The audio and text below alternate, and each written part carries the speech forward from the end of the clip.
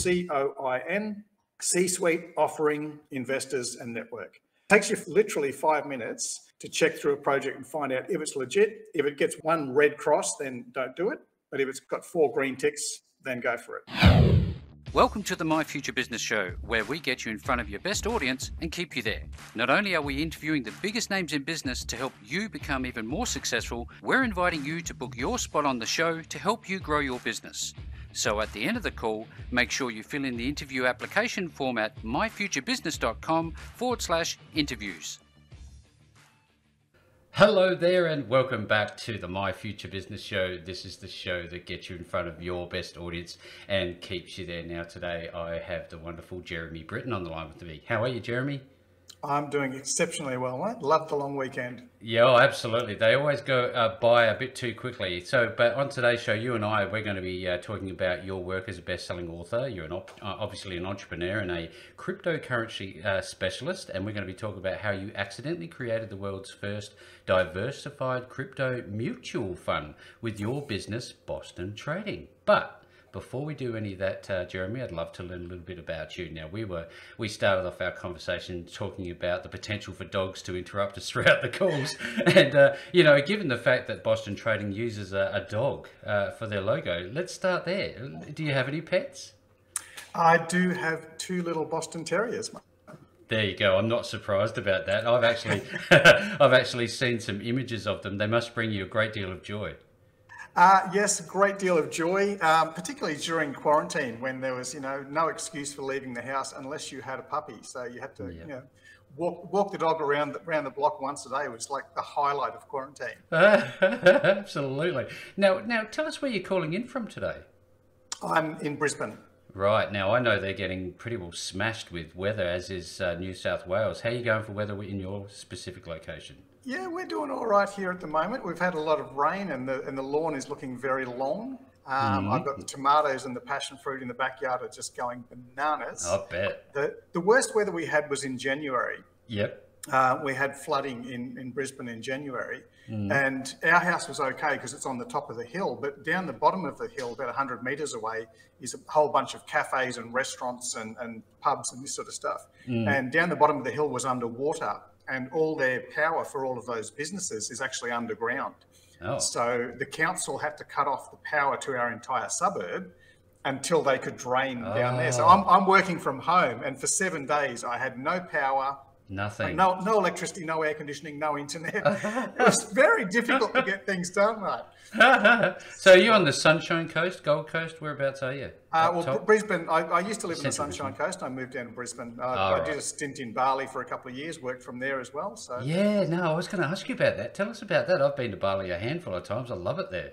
Yeah, yeah. I'd, I'd visited Bali all, every year or or so. I'd go over to Bali. Uh, religious, when isn't my, it? When my kids were when my kids were young. Um, I'd, I'd, save up all year by not spending any money, and then go to Bali once a year, and I could get a leather jacket made for fifty dollars. I yes. could three, suits made for a hundred bucks. So it would it'd be my my like sort of changing my clothes every year and taking the kids over there. It's just a wonderful place to visit. And um, I got a few friends who lived over there, and back in 2015, one of my friends said, "Oh, you got to come over here and, and stay a lot, a lot longer." And I said, it's fine for a holiday, but you know, the internet speeds aren't as good, and you know, mm. that sort of stuff. It's different living there to um, to actually visiting because uh, I, I, could go without internet for a week, but not for a month. You know? No, and, I'm um, with you there in, in 2015, my friend said, look, they've put fiber optics right across the island. oh, and wow. I said, no, Australia's been talking about this NBN network for ages, and we'll have to have all the environmental conversations about digging up the green tree frogs and that sort of stuff. And Bali just didn't care. Bali just, said, we, we, need high-speed internet. they literally, they bulldozed a couple of neighborhoods um, that were in the, in the way, and they had no environmental concerns. They just put in high-speed internet. Just did so. I, I went over for 30 days as a trial um, and I found the internet speeds in Bali were about three times faster than what they were in Australia for about a tenth of the price. Oh. And so then I went, because usually I go over there and I'd stay in resorts and things like that. So I went over there and went, okay, where am I going to rent a place that's close to the beach where I can watch the sunrise over the ocean? Where am I going to get my laundry done? Where am I going to buy a fridge? All this sort of logistical stuff yes, I did yes, for 30 yes. days. and I came back to Australia, sold everything, and moved to Bali. And I'm like, okay, this wow. is where I'm going to be working from. Yeah, that's excellent. I love these sorts of stories because there's always a story behind the story. And you know, what else do you like to do with yourself? Do you, I know that you've done a handful of startups, but you must be so busy. Do you have any time for yourself, and do you have any hobbies that you enjoy? Well, that, that's that's part of the fun. Like one of my one of my businesses way back, way back in the dark ages. Yep. Um, I was working seventy six hours a week, and that was oh, because that I, I thought I needed to, right? Like I Yeah, thought yeah. I needed to because the the way of an employee mindset is you work more hours, you make more money. Mhm. That's just how it works. And I sort of because I'd been an employee and my parents were employees, and at school you're taught by employees, and that was kind of the mindset that I carried into my business. And working 40 hours a week, I made good income. And when I started working 45 and 50 hours a week, I made more money because that's kind of logical. Um, and so I just kept working more and more and more hours, and you sort of top out Yep. after a while. Yeah. Um, but you don't realize it because you're so busy all the time. And, you know, I mean, I, I worked 76 hours a week for a while. Yep. Uh, my health suffered. I ended up having a stress related heart attack when I was 33 years old. Wow. Um, my kids were still in primary school. And the doctor said to me, you know, if you have another, if you don't change something in your lifestyle, you're going to have another heart attack. And if you have another heart attack, you'll be dead. And I went, okay, what do I change? And the doctor said, look, I'm, I'm not a life coach, I'm a surgeon. It's not my job to tell you what to change, but you need to change something. Otherwise, you'll be back here in 12 months in a body bag rather than on the table. Oh, jeez. And so I went, okay, got to change something, got to change something. And I thought, well, I, I'm not like a, a health nut or, or a doctor or anything like that, but I, I hmm. sort of figured when I cook a steak and then you leave the pan, the fat goes solid. And part of the thing is, is having you know fat inside of yourself. It's, it's going to block up your arteries and things like that. Whereas if you have a salad and you leave the oil, the, the vegetable oil is liquid at room temperature. So in my genius, I just went, okay, I'm not going to eat meat anymore because it might block up my arteries. I'm just going to switch to vegetarian. Okay. And then I said, I'm going to give up coffee and I'm going to give up alcohol. I'm going to give up cigarettes because those things are apparently bad for you. So, and they're like, what else can I give up? What else can I give up? Maybe working 70 hours a week is not so good. And I was, I was not. pulling in, I was pulling in six figures back then. And I thought, okay, if I sell my seven bedroom mansion, if I downsize and buy this beach shack on the Sunshine Coast, Mhm. I could potentially work because I was, I've given the, the fear of God into me. You know, like I, my, my kids are little, Yeah. primary school. And I thought, okay, I'm going to create a business where I can drop my kids off at school at nine in the morning and then see my first client. And I'll see another client at 11 o'clock. I'll see another client at one o'clock. I'll finish up at three o'clock in the afternoon. I'll pick up my kids and spend the rest of the day at the beach. And I don't want to work Fridays because no one likes working Fridays. So, you know, working six hours a day, four days a week was 24 hours versus 76. And Yeah, so that's wow. why I thought I'll, I'll, I'll scale back my lifestyle, sell a couple of cars, get rid of the house, buy a little beach shack, and adjust myself so I can live on a third of my income. Um, because the money's not important after you have a, a heart attack, followed followed swiftly by a six-figure divorce because I was never home for my for my partner. Um, so I'd, I'd lost my money, I'd lost my health, and I was okay. I'm going to focus on this stuff. So I started working 24 hours a week. I started another financial planning business. I called myself the 24 hour wealth coach. And Yep. people thought I worked 24 hours a day, but it was only just 24 hours a week. A week. But, but the interesting thing is, Richard, like I got to like you know, first six months, I'm going, I'm, I'm finding a lot of really good clients, clients that I couldn't find previously. And you know, I was in a new town. I didn't know anybody on the Sunshine Coast. I just sort of turned up there. And um, then I got a few more clients and a few more clients and a few more clients. And by the end of the year, I sort of looked back at my figures and went, my income's dropped by about 10%. I was No. expecting a 60% drop in income because I'd, I'd cut back my hours by 60%. And one, one of my clients who was with me in the previous business um, when I was when I was in uh, Toowoomba, and he actually travelled three hours to come and see me and said, "Look, the new bloke's not looking after me. I want to be looked after by you." And I, I said, "Well, look, this is the hours I work. I don't travel. I don't do anything. I don't do any after hours appointments." Yeah. And he said, "Well, I'm bloody glad to hear that." Um, because time. you were always so stressed when I saw you. I said, mate, why didn't you say anything before I had a heart attack? He said, not my place to say, but he said, I used to watch you writing down things on your notepad and you had white knuckles. Oh, And that was not a good sign. I went, wow. Okay. So tell me something, Jeremy. How do you feel today? I mean, you've changed your lifestyle, and you know you've you've geared yourself in a way that suits you. And now I think mm. this is a very very important insight that we've already taken away from this call because there's going to be a lot of startups, uh, entrepreneurs listening to this, thinking they have to burn the candle at both ends, so to speak. And we know that that's clearly not true. You know also that you know you can't take these so-called things you own with you. We're we're only ever borrowing things, aren't we? And mm. and and first and the last part of all this, I'd just love to know. With all that being said, do you still get up early? What's a what's your daily routine look like? Do you have like a, a fitness thing that you do? What's your thing? Uh, my thing is meditation. I discovered ah. meditation shit, 15 years ago. Um, and it's absolutely amazing, absolutely changed my life. Mm-hmm. Um, I, I, was diagnosed with ADHD when I was five, and by two by two different doctors. And my parents, who had four four daughters and then one son, just went, "Oh no, he's not ADHD. He's just a boy. He's just different. You know, he, he just, runs around like crazy because yeah, yeah. he's a boy." Where the girls are sitting in the in the corner reading a book and playing with their dolls, I was destroying half the house. Um, so I was never treated. I was never re-diagnosed. I was never medicated. Yep. Uh, but I do have this thing where I love to be busy all the time, mm. and that you know, harnessing that was kind of the, the secret of success, really. I mean, Richard Branson's got ADHD and he's got like 500 different businesses. Um, so harnessing that, but also being able to stop. And that's in my in my past life before the heart attack, which I used to wake up and have a couple of cups of coffee, you know, drink six to 10 coffees a day. And at night time, my brain wouldn't stop. So I would just self medicate. Wow. I'd, I'd have half a bottle of something and, and, and fall asleep. Wow. Um, but learning meditation is really like basically it's it's turning off, rebooting your brain, um, even if it's just for 10 or 15 minutes, just stopping all the thoughts mm-hmm. and winding down, and also learning to breathe. Like the power in all martial arts, doesn't matter whether you do karate or judo or whatever, is also the power of the breath. And there's a specific way of breathing when you punch or when you kick or when you throw someone or even when you're defending. Yep. And by harnessing the power of the breath, you can actually tap into the subconscious mind and the subconscious power. And so not, I'm not religious about it. It's, no, no. it's just one of those things. It's like a thing that you can do. Um, I like to work out, but meditation is absolutely cannot miss it. Tell me something. So, do you, do you can you just switch this on and switch this on off when you need it? The meditation. Of do you course. find it di- different times a day or? Um, yes, yeah, so, sometimes like oh, I've got I've got a little app called Insight Timer. It's free for the iPhone. I'm not sure about the Android. Mm. And there's like 3,000 different meditations on there. They're all free. And you can yep. just say, I've, I've got seven minutes in between appointments, or I've got 30 minutes, or I need to fall asleep. And, and how do I do that? Um, so guided meditations are great. I, I, went and did the Vipassana course, which is a 10 day re- silent retreat.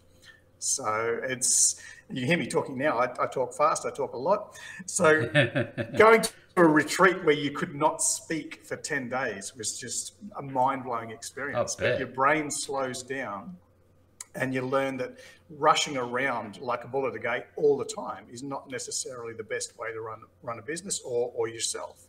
Yeah, um, as I say, like you know, heart attack followed by a six-figure divorce, and then reassess your life. No. I was running running around with both arms, like you know, like catching butterflies, trying to get a new client, trying to get new yeah. business all the time. And then when I sat back, because I took three months off post surgery, yep, and started to think about what would I like my business to be like, what would I like my life to be like Mm. And I thought if I just focus on myself and you know mental health and physical health and just working less, spending more time with my kids, spending more time at the beach, unconsciously I was building a garden. And if instead of chasing the butterflies all day, if you sit back and you spend some time building a beautiful garden, the butterflies just come to you. Uh. And that's what I found when I created the the additional business and get got rid of the old one. Is that I, would meet new clients and better clients by sitting down at the coffee shop at the beach and just relaxing there and you know checking my email at the beach in a coffee shop rather yep. than being in the office and doing cold calls or, or, sending out marketing campaigns because invariably there'd be someone sitting across from me at the table in, in the coffee shop at the beach and the guy who's sitting across the table at 9 or 10 in the morning is a guy who doesn't need to be in the office no. You know, so he's usually a business owner. He's usually got a lot more money, or he's a tourist, or he's semi-retired, or something like that. So yeah. rather than rushing around trying to find these guys, I just sat back and, hey, There they are. I go to the gym at 11 o'clock in the morning, and the only people in the gym at 11 o'clock are either unemployed, who probably can't afford the gym fees, yeah. or the guys the guys who own a business that they don't need to be there. The real entrepreneurs who have delegated all the tasks out, and they're at the gym in the middle of the day. They you, they say you become like those you hang around. That certainly seems to be the, the fact for you. Now, I'd love to expand on that very point. Now, yeah. you you you've mentioned learning throughout this conversation that we're having today, Jeremy, and I'm loving the call. But tell me a little bit about um, those people that were in your life early on that helped you form you into the man that you've become today. Were there any, any prominent people that you can look to? Well, I'd have I'd have to give a shout out to my folks. Um, my, my folks were both school teachers. So again, nothing wrong with it. They were employees. Um, they didn't run their own business. They didn't set their own hours. Didn't have a lot, lot of money, particularly when mum was, you know, raising the next baby because you know we had one one income and six kids for most of the time. wow. Um, and I always thought like I, I wanted toys. Like I'd see someone drive past in a Ferrari and go, "Oh my god, I want to have a car like that." Um, and you know, obviously, my folks didn't have those sort of toys because they were school teachers, they were employees, they were on, on sort of you know a standard wage. Um, and when I left home, I started to seek out and find people who had a more exciting life. And I thought, I don't obviously don't want to be a school teacher like my folks. I want to create my own destiny. But because I've, I've had that ingrained in myself of, of, of simplifying complex terminologies and, and, things like that and teaching people things. So when I started my first financial planning business, I was actually taking all the jargon away, taking all the bullshit away, and just teaching people the fundamental stuff in plain English. Yeah. So I've got my, my parents' gift of simplifying the complex, and I do that with stocks and shares, I do that with economics, I do that with cryptocurrency making things very simple. Uh, so I'm, I'm essentially I'm, I'm, I'm, essentially basically doing what my folks did. Mm. I'm just teaching people who are a lot older because they're yep. like 40 or 40 or 50 year olds rather yep. than five year olds mm-hmm. um, and also getting paid better for it. Yeah, absolutely. So, and this is, uh, I guess, uh, part of the genesis story for Boston Trading. Could you tell us a little bit about how Boston Trading actually came about? What, where did the idea for it come from? Yeah, well, I've always, I've always loved stocks and shares. That's that's been what I what I grew up on basically, and um, and started most of my most of my startup businesses with that. And in 2012, uh, one of my friends who's also a financial planner said, "Hey, you're smart. You know, you're all over macroeconomics. You should get into this Bitcoin thing. It's fantastic." And I'm like, what's a Bitcoin? And he's like, it's kind of like an electronic money system thing and it costs about six bucks. yep. And I'm like, why would I pay six bucks for something that doesn't exist? Like, I, I just didn't get it. Six dollars. Wow. and he spent some time trying to convince me. I didn't understand it. I said no. He put all of his money into Bitcoin. He wrote a book about Bitcoin and how fabulous it was. And I just kind of let it go. Didn't really get it. And a few years later, it was like 2014, 2015. And, you know, again, I'm, I'm working remotely. You know, I subcontract to, got a virtual assistant in the Philippines and one in, one in Indonesia and one in Africa and one in India. Yep. And sending money to these people, like a bank transfer was costing me about 30 bucks. And some of these people in emerging economies didn't even have a bank account. So I'd have to send it via Western Union. Like I put in cash, they'd go and pick up the cash uh, with their ID pretty outdated process. Yeah, Western Union was like seventy dollars, I think. And I was chatting to this friend of mine saying, like, paying these people is just driving me crackers. And he said, Oh, I use Bitcoin. I said, I've, heard of that Bitcoin thing.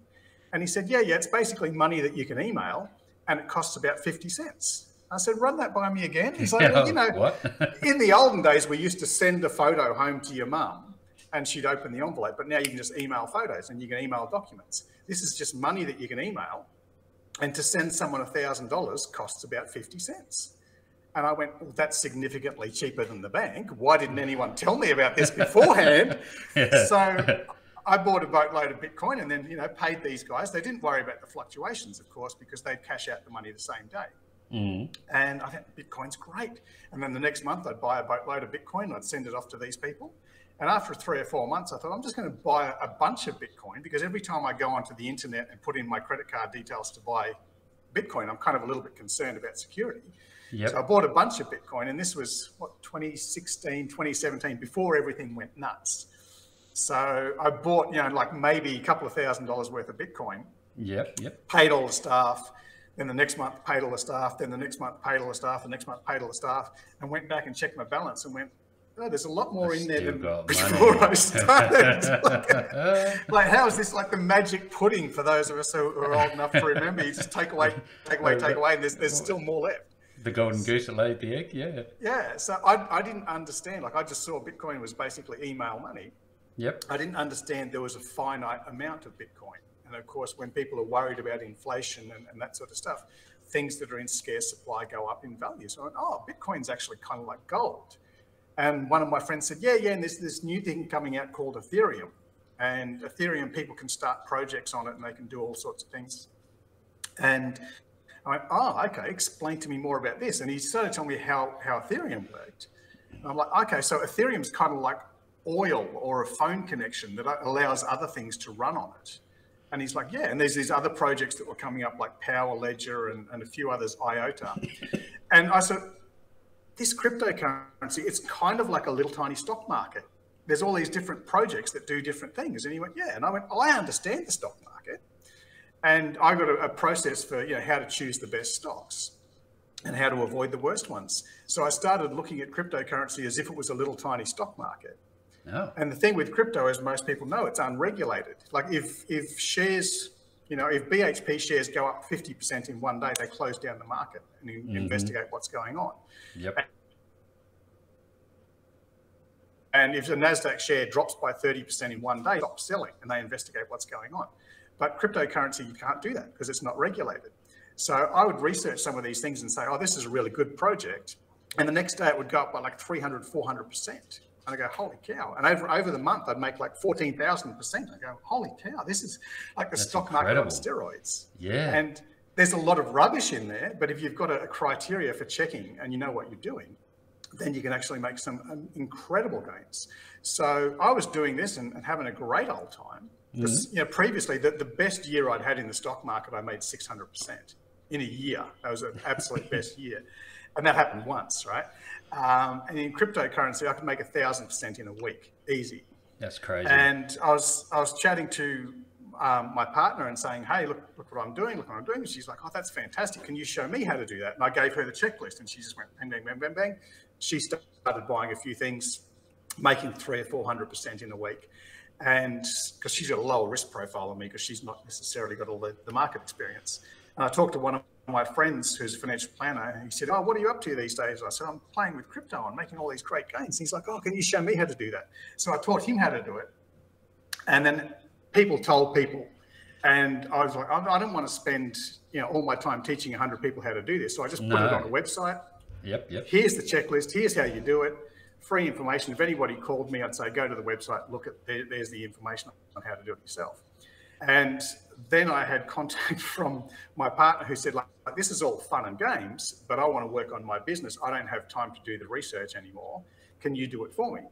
And you know, she's my she's my partner, and I love her, and she knows where I live. So yep. I went, yeah, okay. I'll I'll, I'll run your lower risk portfolio, and I'll run my higher risk portfolio at the same time, and make some money. And then my friend, who is the financial planner, he called me back and said, look, you know, this is all fun and games, but I don't have time to do it. Will you do it for me? And I was like, whoa, hang on Hang like, on. You're my friend. I've known you for 25 years, but you, you don't know where I live. um, and, you know, I, I, don't want to risk a friendship because crypto can be very volatile. Yes, you can make a yes. 1,000% one day, but you can lose 50% the next day. Highs and lows. And I, I, I said to him, like, I, I really don't want to do it because if it drops by 50% in one day, if I've made a bad decision, I'm going to risk this 25 year friendship. He said, No, no, it won't happen. It won't happen. I said, No, no, I don't want to do it. I don't want. A week later, he calls me again, says, Will you take my money? Will you do it for me? I went, no. Uh, week later, he, he, rings me again and says, Will you do it? And I said, No. And he said, Please. And I went, Oh, look, the only way I would do it is if we'd set up this kind of a legal structure, had it all policed and you know verified and that sort of stuff. Um, got to do a unit trust because obviously financial planning, that's where I grew up. They do unit trusts with mutual funds and that sort of stuff. I said, yep. This is the only way I would do it for you. And he said, You do whatever you got to do. I'll be happy with whatever you decide. So then I went and talked to the corporate lawyer, called the accountant, called an international tax lawyer, and said, Hey, I want to set up this unitized trust thing. There we go. um, and make this thing all legal, all kosher, because there's no regulations, right? But we want to make it as if the regulations for mutual funds, for stock mutual funds, but for crypto. Yep. And the accountant said, You're doing a mutual fund for crypto. And I went, Yeah. And the accountant goes, Oh, I'll give you 10 grand for that. And I'm no. like, Oh, okay. I don't know how many accountants you know, Rich, but the last time any accountant has ever said, I'll invest into that, No. it's a rare today. Hello. Um, so I thought, okay, we've, we've got our first customer, our first real customer. Yep. Um, so then I went back, and you know, between myself and my partner and the financial planner and the corporate lawyer and the accountant, we all chipped in like you know ten grand each and started Mhm, up this little thing. And okay, it's all legal, it's all kosher, it's all you know compliant to all this regulation that doesn't even exist yet, but as if we're setting up a stock mutual fund. And then someone said, "Oh, we've got to have a logo, and we've got to have a name for this thing." And I'm like, uh, "You got any Yeah, ideas?" You're okay. looking around the table. Well, you've got accountants, corporate lawyers, and financial planners. None of us are creative. None of us are in marketing. We're all geeks. Like we're all we're all nerdy number geeks, right? Numbers and technology. Yeah, and we couldn't think of any ideas. We're sitting there trying to, you know, we, we'd ironed out all the kinks in it, yep. but then couldn't think of a name or a logo. And just then the dog walked into the room, a little Boston Terrier, and went, Ah. "Oh my god, there's There the is. logo and there's the name." That was the best Oh, thing we could it. think of. and we stuck. picked it up, and it stuck. We said, "We'll, we'll run this thing for 12 months. If it does well, we'll launch it to the public. If it doesn't do well, we'll just put it back into the box and we won't tell anyone about it." Yep. Um. And obviously, we did well over the over the first 12 months. We launched it to the public, and Fantastic. every year for the last six and a half years, we've outperformed Bitcoin. That's So, incredible. Absolutely pleased with that. Yeah. So tell me something. You've talked about accountants, but you've also talked about busy people. Um, who is who is this best for? Do you do you work with um, people other than financial sector? Who's who's your target client? Do you think? Well, really, if, if you look at it in in the US, the stats are that 90% of investors use a mutual fund or an index fund because they're simply too busy looking after their kids, looking after their business, doing their do, you know, playing Yep, their yep. sports, whatever. Mhm. 90% of people don't have time to research their own stocks. In Australia, the figures are a little bit more rebellious because Australians are a bit more rebellious. In Uh, but in, in Australia, it's eight, 85% of investors who use a mutual fund or an index fund because they don't have time to research their own stocks. So it's mm-hmm. basically anybody, any, anybody who wants to invest in the stock market but doesn't want to be bothered doing all the research, they give their money to a fund manager. And that's what we're looking at here. People who want to get the great returns in cryptocurrency but don't want to do the research. You know, we, we've done, even after the big June crash, where, where Bitcoin crashed down by 50, 60%, even after that crash, the last three years, the fund has made 291%. Wow, that's incredible. So almost, you know, almost 300% in three years. And our investors, like, they don't know how we did it. We send out a newsletter every month saying this is what we did and this is why we did it, but they don't have to actually take the time to read the newsletter. they don't have They to don't worry have to about it. work. That's a very So- big thing. That's a very powerful thing for busy people who are on the call today. If you're listening into this, this is certainly something you might want to look into. Now, I'd love for you to um, tell the audience about your four-step proprietary coin process. What's that about? All right. Okay. Um, so in, in my first in my first book, um, I had a nine-step criteria for choosing your own stocks for people who actually wanted to do that, people who didn't want to go and pay a financial planner. And obviously, in the crypto world, it is simplified because you don't have to jump through all the hoops to list yourself on the stock exchange. So literally, two guys in a garage started Power Ledger um, and they didn't have enough money to list on the stock exchange, so they made a cryptocurrency. And one of their first investors, funnily enough, was Richard Branson, who's fully into solar power with his Necker Island. Um, so with with the the nine step criteria, some of those things don't apply because the average cryptocurrency project doesn't report on its earnings and they don't have a board of directors and things like that. Yep. So we simplified it right down to four steps, easy to remember. So coin, C O I N. And the number one thing that you check out is the C suite CEO, CFO, CMO, the guys who are actually running the project. And on the website, they might just be anonymous. They might not even have photos. And you go, well, if mm-hmm. they're anonymous, where are they going to be? How am I going to track them down if I want my money back? You know, there's a lot of rug pulls and, and Yes. scams and things that people have disappeared with their money in crypto. And so you want to check out the, the directors and the leaders of this thing, the C-suite, and don't just have a look at them on, and say, oh, they're there on the page, because it might be a Google stock image or it might be a, a, a, real person's name. But if you go and highlight that guy's name and search him on LinkedIn, he doesn't actually work for the project. So check them out. It, it literally takes about 60 seconds to scroll yep. through, see if the team's there, see if the team yep. are actually real people. Google mm-hmm. them, check them on LinkedIn, go, yep, that lines up. So first tick there if they've actually got a real team with real experience working on the project. Yep. Then O stands for the offering. What are they actually doing? Okay. Now there was someone out there a while ago who's like, oh, we're going to put avocados on the blockchain and revolutionize the fruit industry. Like, well, how does that work? How does that help me? Whereas, as I mentioned before, the guys with Power Ledger, they were empty nesters. Like their kids had moved out of the house and they're like, oh, there's only me and the missus at home. And we've got these massive solar panels on the roof, generating so much more power than what we need now. The kids are gone. But if I sell that power back to the grid, I only get 10 cents a kilowatt. But when I turn on the TV, I'm paying 30 cents a kilowatt.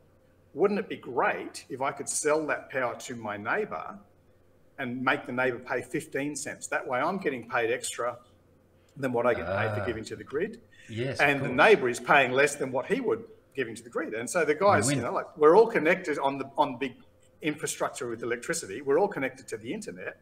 So they figured out a way you could actually sell your excess solar credits to the neighbors, like an eBay for, for power. And that's a great offering. It actually helps the, the, the person who's generating power. It helps the person who's consuming I love it. power. Yeah. Fantastic offering.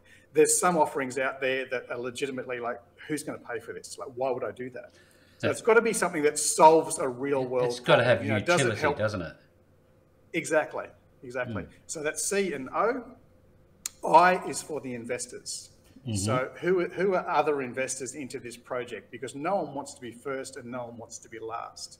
Um, as I said with with Power Ledger, one of their first investors was Richard Branson, because he generates a lot of solar power on Necker Island, and rather than selling it to the grid, he wanted to sell it to other people when he found out about their offering. So I don't have as much money as Richard Branson. I don't have as many people working for me as Richard Branson. But if he jumps into a project and he's one of the early investors, I think he's smarter than me. He's richer than me. He's probably paid 40 analysts to check this project You've out. You've got to look at it, don't you? So I've already got a tick from the CEO suite. I've got a tick from the offering. And then I go, the investor, he's no dummy. So no I'll give dummy. you a good tick yep. from there. Yep. Um, if the other investors are just people who also got roped into, you know, Squid Game coin or I love boobs coin or F Joe Biden coin, yeah, those sorts of, I don't want to be involved with those nah, people. Right? Pass. And then the final one, the N is the network, because the great thing is you can, you know, you can drop a hundred bucks into a coin project and it might hit up to, you know, ten thousand dollars, but then who do you sell it to? Yeah. Right. There's got to be a network of people who are willing to buy this thing from you. Otherwise, you've just, you know, you bought one of these NFTs um, and nobody wants to buy it from you. And you've got your money. You're like, potentially, I've got ten thousand dollars, but I can't sell it to anyone. But unlikely. Okay? yeah. So you check the network. You, you, you check all the all the normal social medias, the Twitters, the Facebooks, the YouTubes. Who's talking about this project? Who's interested in this project? Who's yep. going to support me with my questions? Who's going to be the one to buy it from me when I want to sell? So it's very simple C O I N, yep. C suite offering investors and network. Basic. And again, takes takes you five minutes, literally five minutes to check through a project and find out if it's legit. If it gets one one red cross, then don't do it. Don't do it. Got four green ticks, then go for it. Yeah, thank you for sharing. Otherwise, that. you pay someone else to do it for you. Yeah, and you're, you're happy to burn your money, that's for sure, and certain if you don't follow that coin process. Mm. Now, I'm wondering, um, you know, I, I, know that you've got a lot going on on your, your website, but if somebody wants to, uh, I guess, connect with you and work with you, what is the uh, the location that they're going to find you, and what's the onboarding process? Uh, well, the the main site is bostontrading.co. Mm-hmm. Um, so just bostontrading.co, not not .com. Not um, .com. That's yep. where we have the yeah, that's where we have the managed fund. That's where we have the, the newsletters and things like that. So you can literally go back and see the last six years of newsletters. So you can see what, what were we buying before the pandemic occurred? What were we looking at? What were we doing when this happened? Um, and you can see the results, what we're buying, what we're selling, and how we do things. So the newsletter usually starts off with a top-down sort of, here's what's happening in the global macroeconomic environment. Here's how that affects stocks and shares. Here's how that affects cryptocurrency. And it's an it's an educational piece. Like you read five newsletters, you'll be smarter than most economists easily. Mm-hmm. Um, so this is this is obviously where we do it for you. Yep. If you, you don't want to do it yourself, uh, but for people who want to learn how to do it themselves, for that ten or fifteen percent of people, they go to cryllionaire.com. So it's literally C R Y for crypto, and then the last bit of billionaire. So yep. cryllionaire.com, Very and smart. that's where we've got a, a bunch of a bunch of videos and blog posts and all the coins that we actually do research on. Um, so you can actually look in there and say, here's why we think this is a good project. Here's how to download a wallet. Here's how to protect yourself. Here's how to do this. So all the people who want to learn how to do it yourself, if you've got time to do it, absolutely do it yourself. Uh, if you don't have time to do it, then we just run like a mutual fund at Boston. Um, so we charge 2% a year. It's pretty cheap and easy uh, if you don't have the time. Yeah, and making that uh, a simplified process for busy people is where I think uh, that Boston trading is going to stick out above all else. And you know, the way that the cryptocurrency space is uh, ever evolving, it's certainly going to be uh, up there with the leaders in this uh, particular space. And with all that being said, Jeremy, I've absolutely loved this call. Love spending some time with you on the My Future Business Show today. Perfect. Thank you.